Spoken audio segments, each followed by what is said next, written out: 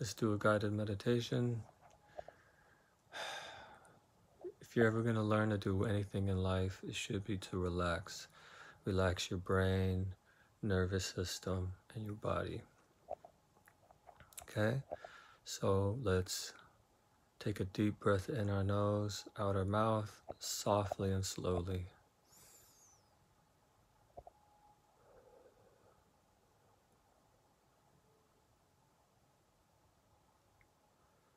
Let's do it one more time and exhale completely this time.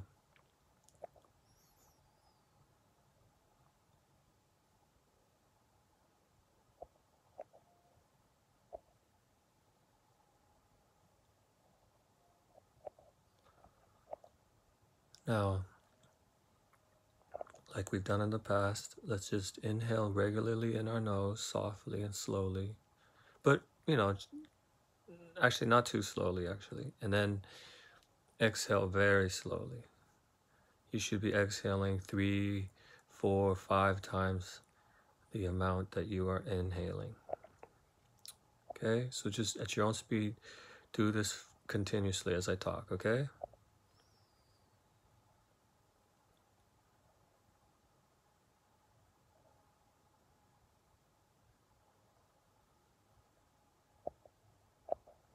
Keep going. Just keep going.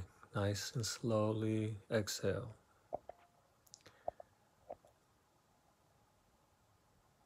Just relax. Relax your body. Take out all the tension in your body. Take out all the tension in your brain. As you do this breathing, you can even exhale out the tension. You could even see smoke and negativity coming out. Relax your brain, relax your face, relax your neck, relax your shoulders, relax your upper arms, lower arms and hands, relax your chest, relax your back upper and lower. Relax your stomach. Relax your butt and thighs. Relax your lower legs and your feet. Keep exhaling slowly and softly. And just know that you feel better and you're more connected to reality when you zoom out. Zoom out, detach. Detach to your reality, detach to your ego's reality. Detach from all the little issues and problems you're always thinking about. You are not human, you are consciousness. You are not just an animal, although you are too, but you are consciousness. You are also angelic in that sense. The more you zoom out, reality from the ego's perspective becomes small. The problems of your life become smaller. And just like we did before, you can make even the earth getting smaller. You're zooming out, you're zooming away. The problems of humanity are getting smaller. We are just humans pretending, pretending to not be consciousness. Not pretending not to be a direct connection, direct connection to God or universal consciousness. This is all just to play, to feel something, to experience something, so that we can collectively try to grow and understand what this is all about. Feel love for everyone. Feel love for all of your friends and family. We're all having a unique experience with unique suffering. But it's just stories. It's all just stories. If you had a different life, you would have completely different stories. You'd have completely different things that you would be worried about or afraid of. We all live in our own universe, each one of us. So,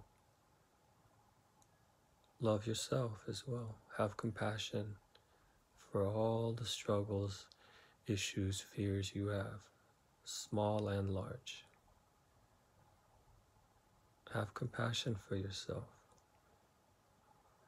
See yourself as a little child that's suffering. In fact, you are. You are a separate little child that is unhealed within you. But the adult you wants to shove that child into a dark room and lock the door. No wonder you're conflicted because the inner child in you is sad that you have abandoned it. See yourself opening that door, unlock the door, open that door, and see that inner child in that dark room. Many inner childs. It's you as a child. Now, regardless what that inner child looks like, regardless what that inner child is doing to you, do not react. Do not get triggered.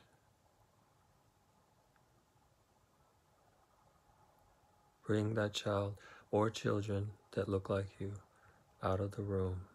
Guide them out. No matter what's happening, just guide them out of the room. And if they don't get out of the room, then that's fine too. But feel love for them. Radiate love out of your heart to them. If if they are, I don't know, something else, maybe convert them to child versions of you that are sad or whatever. And I want you to hug them all. Pick them up if need be and hug them. Talk to them. What do you have to say to them or to him or her? Talk to them. Say that you love them. You apologize for whatever you want to apologize for.